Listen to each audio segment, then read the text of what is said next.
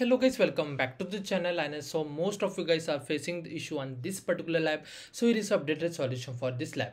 And in this video i'm going to show you the simplest way to complete this lab. So first of all just me log in with your credentials and once you're done with that just me come back over here and activate your cloud shell. It will take a couple of seconds. Meanwhile in the description box of this video i will share one github link. Just me click on that link and then you are able to access this document. First of all what you do you have to copy this command come back over here paste hit enter. Wait for a second and then just click on authorize. Now this command will take a couple of seconds. Meanwhile what you do? Come back over here scroll down a little bit and from here you can see all this file so just me open all this file in new tab like this way. Now come back over here and here you can see zip file. So this file you have to download to your local system. So just me click on this download button over here like this way and it will download. Now for the remaining file we have to use this letter. Now just me come back over here and from here you can see it's done. Now just me open this link in new tab like this way. Wait for a second. Click on this close okay and then click on the start collection over here. Now for all this information again come back to the github repo scroll up and from here you can see collection id so just me copy this and paste over here. Now for the document id just simply type 100 now for the field name just simply copy this name carefully and paste over here. Now for the field value just simply copy this name and paste over here. Then click on this plus button over here. Now copy this last name over here like this way and paste over here. Now for the field value just simply copy this name like this way. Just simply copy like this and paste over here like this. Then again click on this add value again scroll down then copy this field name and paste over here. Make sure that your collection data must look like this. Okay field type must be this and value like this. Okay once done with all these things then click on the save only. Wait for a second and it's done. Now just me come back over here and from here you can see Dialogflow console. Just me open this link in incognito window like this way. Wait for a couple of seconds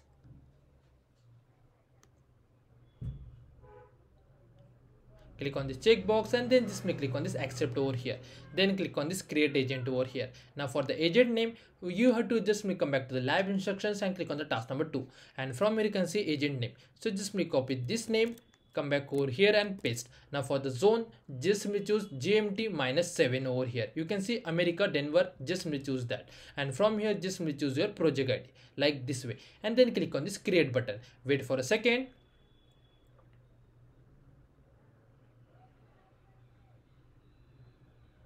and it's done.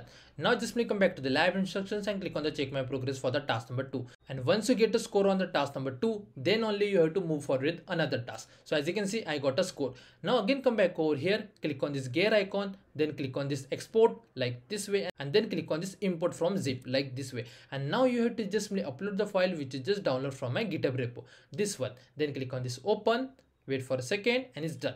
Now for here you have to just type import in capital like this way and then click on this import button. Wait for a second and again click on this done button over here and it's done.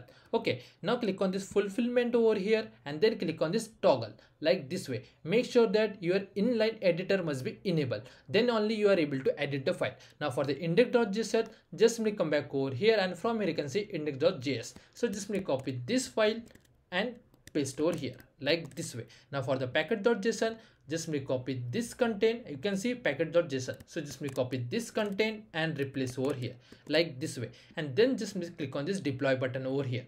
Now it will take a couple of seconds so make sure that once it's done you have to check those score for the task number three and task number four. I will let you know what score you have to check. Otherwise what happen you won't get a full score if you move forward to another task without checking the score for the task number three and task number four. So just wait for this deployment get complete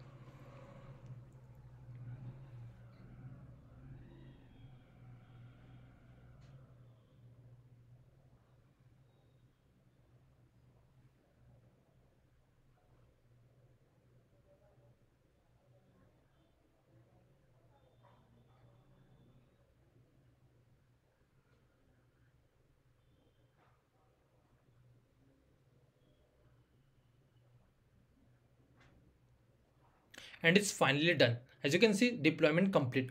Now if we just may come back to the lab instructions and click on the check my progress for the task number 3 and task number 4 you will get a score without any issue. And once you get a score on the task number 3 just scroll down and then this check my progress. Then only you have to move forward with another task. Otherwise what happen you won't get a full score over here. And as you can see i got a green tick. Then only what you do just me come back over here and then click on this intent over here like this way.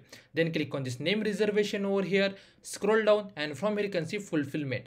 Just me click over here and then just me turn on this toggle like this way. And then click on this save. Again i am saying click on this fulfillment turn on this toggle and then click on this save. Once you're done with that now again come back to the github repo scroll down over here and from here you can see name. Now i request to please watch the video carefully. As you can see try out this simulator. So just me copy this name carefully and paste over here like this way and then hit enter button like this way. Once you do that it will ask like change your booking name. Okay now it's asking like sure just simply tell me your change name. So for that what you do copy this name. You have to copy only this name. Just simply copy this and paste over here like this way. Once do that now it asking for the reservation number. That time you have to just type 100 and again hit enter. Wait for a second and now it's again asking for the new name. For the new name again just paste the name which just copy kelly and then click on this enter like this way. Once you follow this sequence then you will get output like okay i have updated the name. And if you are not getting this kind of response then i will request to please rewind the video and just watch what I did here.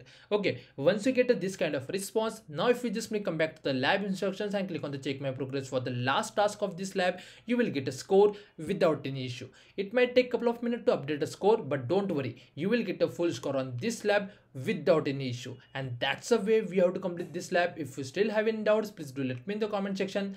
Thanks for watching and have a good day guys.